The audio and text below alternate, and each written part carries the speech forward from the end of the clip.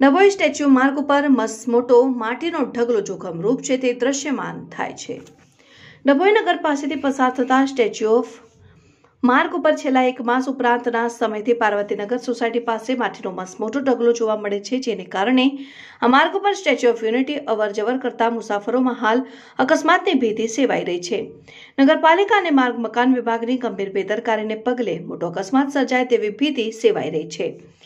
વિશ્વની સૌથી ઊંચી સરદાર વલ્લભભાઈ પટેલની સ્ટેચ્યુ ઓફ યુનિટી જવાનો માર્ગ ડભોઈ થઈ બાયપાસ જાય છે.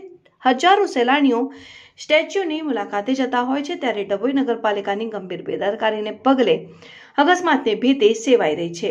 આ માર્ગ ઉપર આવેલ પાર્વતી નગર પાસે ડ્રેનેજની પાઇપ રિપેર કરવા આશરે ત્રણ માસ પૂર્વે પાલિકા દ્વારા ખોદકામ કરાયું હતું, જે ખાડો પૂરતા પુનઃ રોડ જેવો હતો.